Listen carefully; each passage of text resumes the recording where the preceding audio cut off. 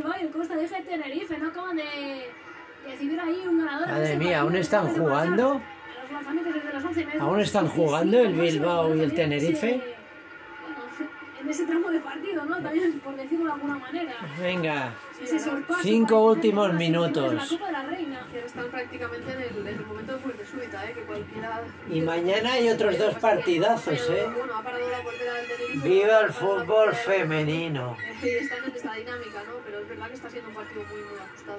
Dos minutos le quedan a este encuentro entre el Barça y el Sevilla Fútbol Club. Desde el saque de esquina de la de siempre de Seba Paralilo buscando esta vez el segundo palo. Hola, menudo regate. Rivales, el balón quedaba suelto. Oy, oy, oy, qué regate. Rodríguez, pero no se ¡Oy! puede. Se Esto es, esto es un taquigol. Es un ataque gol, un ataque gol. Ari Arias, Ari Arias es mejor que Mariona. Nadie me va a creer porque no han visto a Ari Arias jugar haciendo en el Barça, todo un año con el de primer de equipo. Pero Ari Arias de- es mejor que De Mariona. hecho, coincidiste con ella en el Real Madrid, equipo con el que debutó ella en Primera División en octubre de 2020 ante el Valencia. Esto estamos hablando que hace ya más de- Imagínate más de si- tres años. Si ahora es joven, imagínate lo que era en ese, en ese momento Ari Arias. Pues entre 16 y 17 años tendría la futbolista. Julia Dragoni. Dragoni, Dragoni es una delicia. Dragoni es una delicia. Ahí está Lucía Rodríguez, viene a presionar también a esa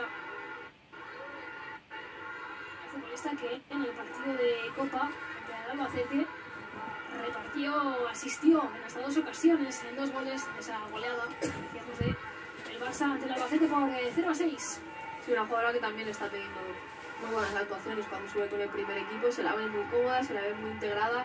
Con el Barça B también está, está haciendo muy buenas actuaciones y está rindiendo a muy buen nivel y eso lo que le permite es conocer Hostia. eh, la casa, conocer el estilo. Vaya centro, vaya centro de Salma y qué bien ha rematado Ari Arias.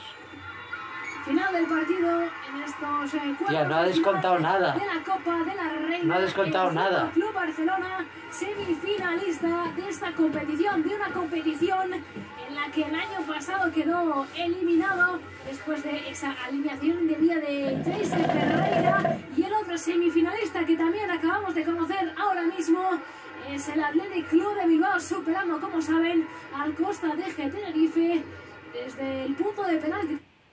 Bueno, pues ya lo habéis oído. El Bilbao también ha pasado por penaltis y el Barça ha pasado por por, por ser una fuerza de la naturaleza. Madre mía. Bueno, la nota negativa es que no ha puesto a Pina ni un minuto, ¿no? Pero bueno, Giraldez, vete al carajo.